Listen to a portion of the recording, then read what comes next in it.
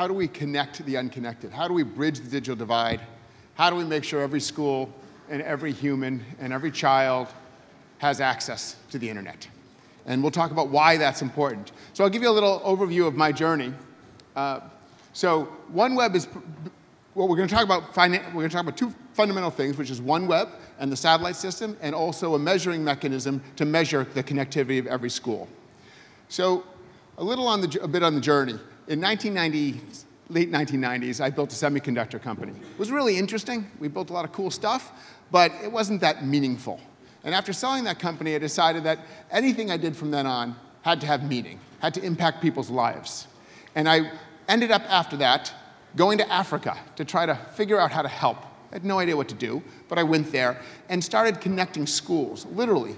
It got so exciting as we connected the schools and you connected the kids and you gave them internet access. Started running fiber, then built the first fiber to the home in Africa, and then built the first 3G network in Africa.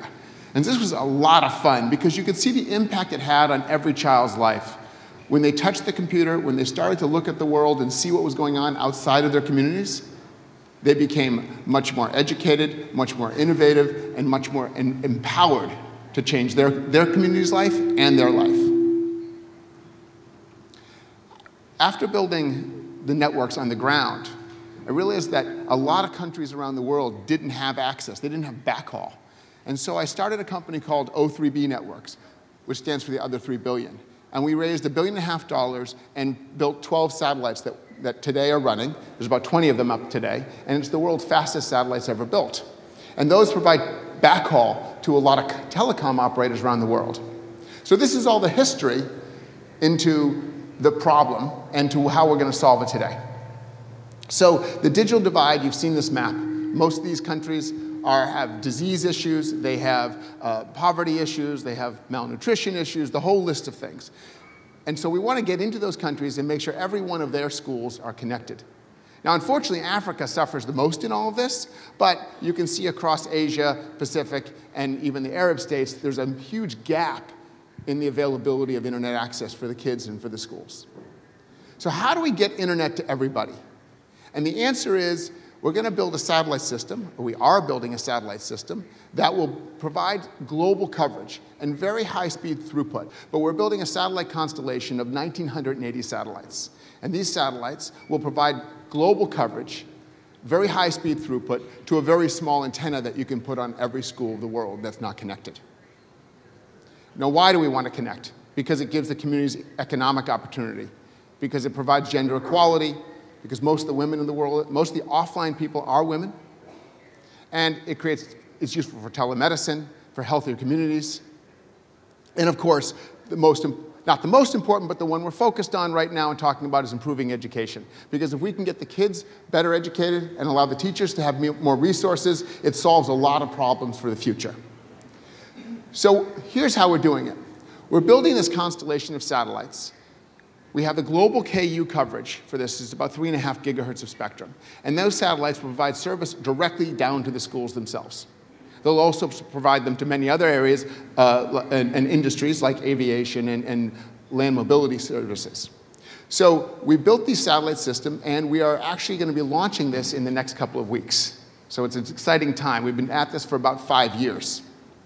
And these are low Earth orbit satellites. They're close to the Earth. And let me show you what the difference is between a low Earth orbit satellite and a geosatellite. So this is a geosatellite. These are more typical satellites that are out around the Earth. And they have a very, what's called high latency, meaning when you press the button to click, it takes a long time to get the services back and forth. And so in this example, you can see OneWeb's new LEO system and how long it takes for the, for the signal to travel back and forth. Now, the signals are all traveling the speed of light. So they all go the same speed, but they go different distances. If you go to O3b, you can see how long it takes to get to O3b. And when you go to the geosatellites, traveling at the same speed, you end up with a lot more latency. When you click, you have to wait. And this is the challenge of geosatellites. They have a lot of great features, but latency isn't one of them. And so we want to solve that problem so all the children who are using these services could experience all the web and, and, and dynamic HTML and capabilities that we, and interactive capabilities that we all live on here today. So what, how does it work at a fundamental level? You have a school that's not connected, maybe a remote community. we put a gateway in that talks up to the satellite and sends it down to the remote community. Very simple. Now, simple, but also about $5 billion. So we had to build a whole bunch of satellites, which I'm going to talk about, and we had to revolutionize how satellites were manufactured. Nobody built satellites with the quality, speed, and efficiency that we needed, and no one built them at the price points that we needed. And this is showing the constellation and the global coverage. And once this constellation is done of the 1980 satellites, we're adding another constellation around it to give us even more capacity as the need and demand grows in all the communities that we're servicing. So this is a, a long run of system building, but a lot of capacity that we're bringing to the world. So how do we get this capacity up there? Well, we had to invent and create a whole new breed of satellites, something never been, has never been done. These satellites were $50 million each before, and we need to get them under a million dollars. So to do that, we had to invent a bunch of technology, and then we had to build a couple of factories. And so we had to pioneer serial satellite production. So we have the world's first satellite production facility that's actually manufacturing satellites like you would automobiles. So this, these satellites we're building, it's like the Model T. It's the first ones ever coming off the line. They've already, we built 10 of them so far, and we're starting production in the factories now to, to launch about 150 of them this year. And so at this rate, we'll have a, several, uh, a couple thousand up um, in the next three years. So as I said, we're launching in, uh, very soon. So February 26th is when we're launching, which is just two weeks from now. We, uh, uh, we're launching from French Guiana on the Soyuz rocket. We're the world's largest launch purchaser, so we bought 21 rockets, and we've got them scheduled to start launching in September every 21 days. Now you'll notice on the, on the rocket, you'll see the first logo. So first is for inspiration and recognition of science and technology, about a million kids who build robots and robot competitions, which are going to be the world's nationals of that will be here next year, where 200 countries come here to compete. So we're recognizing first in what they do, and because this year is their year of inspiration for space. So we're helping take first into orbit. It's an incredible organization founded by Dean Kamen and, and sponsored here in the UAE as well. So we'll talk a little bit now about the terminals about all the satellite stuff is really interesting, but how do you use it? One of the key features of this satellite system is that the satellites are almost always directly overhead. So if you have a terminal and you put it on your school, it can talk straight up to the satellite. And this is a problem because most satellites are off at an angle. And when you put it on the school, the, this, the, the beam hits a tree or a mountain. So it's been very important that we design a system which keeps the satellites directly overhead. So we've used a, a, we've done a lot of our own imagining of how to build a system where the terminals are easy to install, where a, a, child can install it themselves, for instance. So how can they just put something together and put it on with no tools?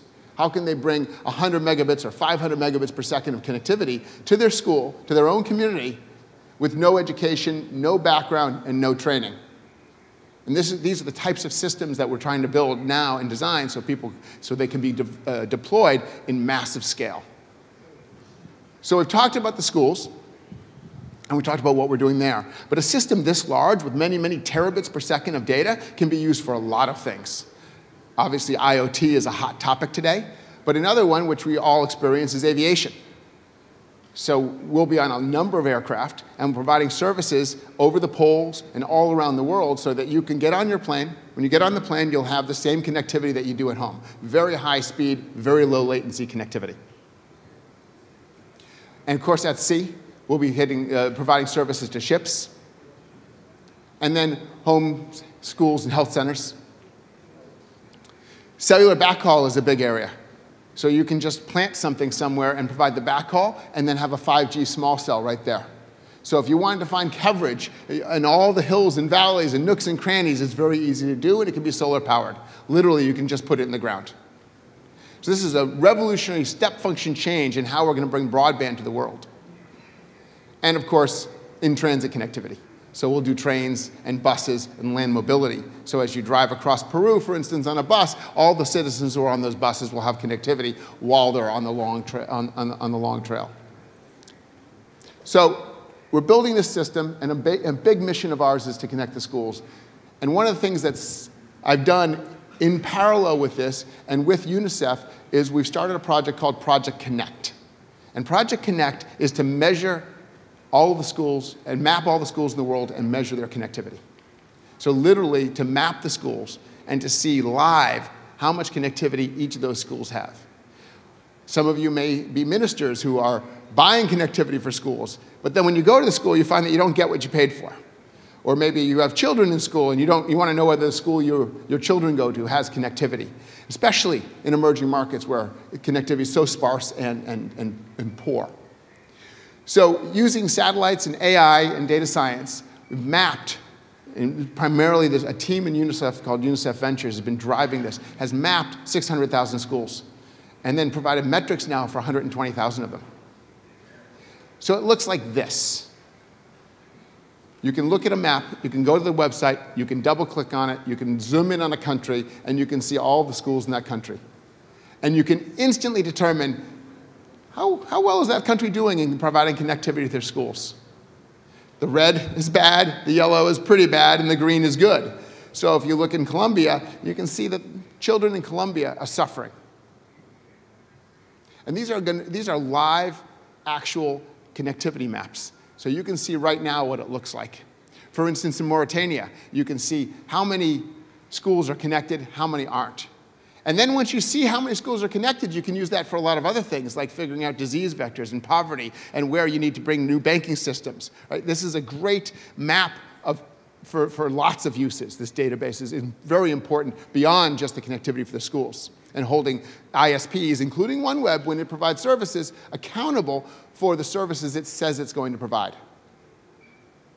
So Sierra Leone, for instance, has just joined on and providing ma we've mapped the schools, and you can see the challenges that we have in Sierra Leone. And this gives all of us who are lucky and fortunate enough to have all the resources that we have to think about how can we help that country? How can we help make all those schools green? Kyrgyzstan is mapped, and Kyrgyzstan is using it within their own government to determine which schools are connected and which ones aren't, and to hold the ISPs accountable. So a number of countries are already mapped. Mauritania, Colombia, Brazil, Kyrgyzstan, and Rwanda's come on, and they're going to be mapped very soon in Mexico, as well as Kenya. So a lot of countries are starting to join on to this, and we'll be able to look at one map of the world, and you can see which countries have connectivity and which countries don't, and you can see the scale of the problem and the challenges we're facing as a community to bring services to these people. So Project Connect, again, it's a, it's a nonprofit, it's driven by UNICEF, and for governments, they can work with it, international organizations, and of course, companies can, can work together. So, walk through OneWeb very quickly and told you a little bit about what we're doing. We're building the system. You can watch it launch live at oneweb.world. It'll be the world's first broadband, production broadband satellites. Once we launch, It'll be the world's first system that's been built on a, with a full supply chain, manufactured in volume. We can build uh, 15 satellites per week in our two factories, one in Toulouse, France, and one in Florida. And so, well, thank you very much.